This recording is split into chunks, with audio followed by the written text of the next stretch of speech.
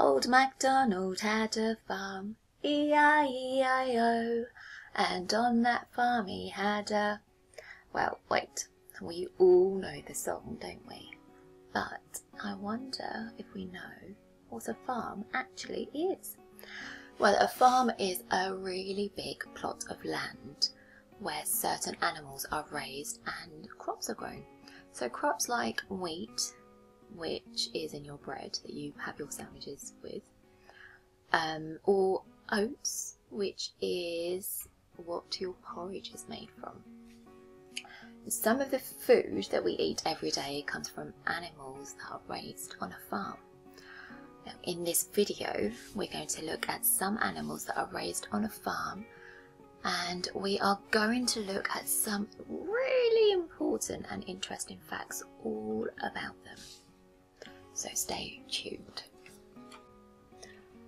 So the first animal we're going to look at is a hen.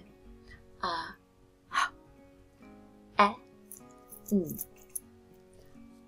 h e n hen. A hen is an adult female chicken or a lady chicken. Now, chickens are a kind of bird or fowl. Now, did you know that there are more chickens in the world than any other kind of bird? How cool is that? Now, chickens lay eggs and we use some of their eggs for our breakfast or to bake cakes. Chickens are also raised in farms for their meat. We buy chickens from a supermarket like Tesco and we cook them. We make lots of tasty food with chicken. Baby chickens are called chicks and on a farm, chickens sleep in a special house called a coop.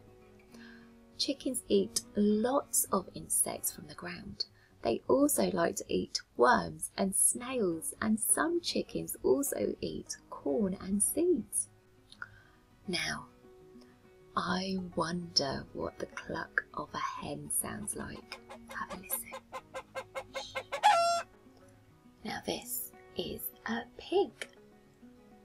P, I, G, pig. P, I, G, pig. Pigs are raised on a farm mostly for their meat. Now, did you know that ham, bacon, and pork all come from pigs?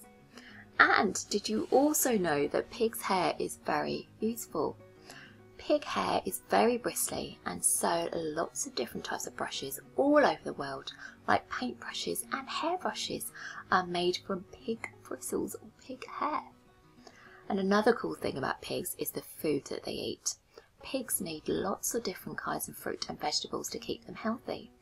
Pigs like to eat all sorts of food, such as cooked broccoli, ap apricots, cucumbers, tomatoes, apples, mushrooms, and even watermelon.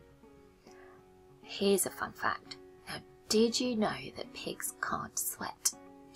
Well, it's because they can't sweat that they like to roll around in mud and it's the dried mug, mud on the pig's skin that keeps them cool and protects them from the sun, like sunscreen protects our skin from the sun.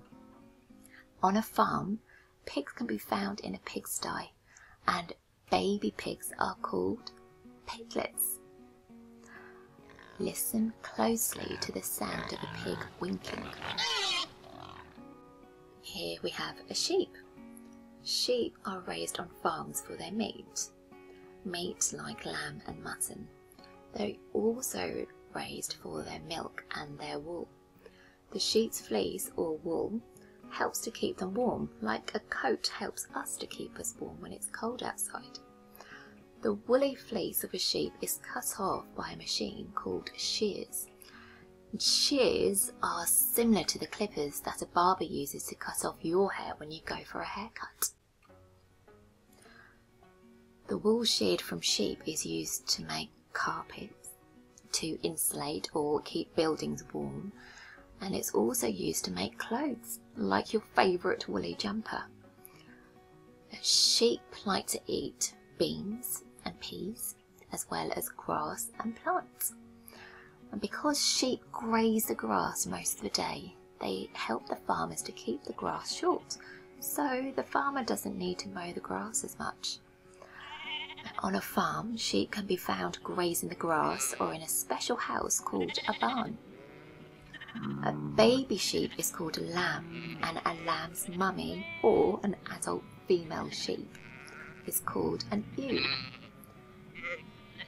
Can you bear like a sheep? Here we have a cow. Cows are raised in farms mostly for their meat and for their milk. Meat from a cow that we eat is called beef, and it's likely that the milk that you drink and use in your breakfast cereal is also from a cow. Cow skin is called cowhide, and cowhide is used to make lots of things. Leather comes from cowhide and is used to make leather shoes, jackets, belts, car leather, and lots of other things. Similar to sheep, cows graze grass during the summer and eat hay during the winter. Cows also eat grains like wheat, barley, and oats to keep them extra healthy. Cows are usually in open fields or in a pen, but when they need to have a rest or just relax, cows like sheep can be found in a barn.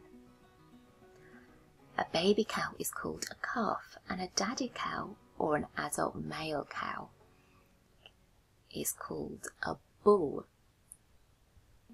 Now, I wonder what sound a cow makes. Now we move on to ducks. Well, very much like chickens, ducks are farmed for their meat and their eggs.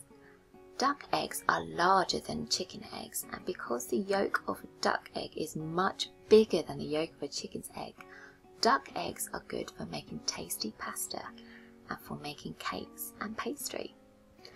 Now, did you know that we use duck feathers to keep ourselves warm? Well, some duvets and pillows and coats are made from duck feathers. Ducks are similar to chickens because they like to eat lots of creatures from the ground. Now, as well as grass, ducks like to eat worms, snails, and insects, and they even eat frogs and toads. Ducks also eat rice and seeds, oats, and lettuce. They don't just eat bread. So maybe next time you feed the ducks at the river, you can feed them some healthy lettuce leaves. Ducks need somewhere to swim, and on a farm they can be found in ponds. Swimming in a pond gives the ducks lots of exercise and keeps them healthy. Like chickens, ducks need to be protected from predators like foxes, so at night they are kept safe in a coop like a chicken is. Baby ducks are called ducklings. Can you waddle and quack like a duck? Now, I bet you didn't know that the hee-haw sound of a donkey is called a bray. If you listen carefully, you can hear a donkey braying. Well, I really hope that you've enjoyed learning about the farm animals with me today. And now that you've watched the video, have a think about what interesting facts you can remember about the farm animals and share them with your grown Maybe you can tell them all about some of the interesting facts that you already know. Like what the nose of a pig is called. Now have a think and have fun talking about farm animals and then have a go at writing about farm animals. Bye bye everyone. See you next time.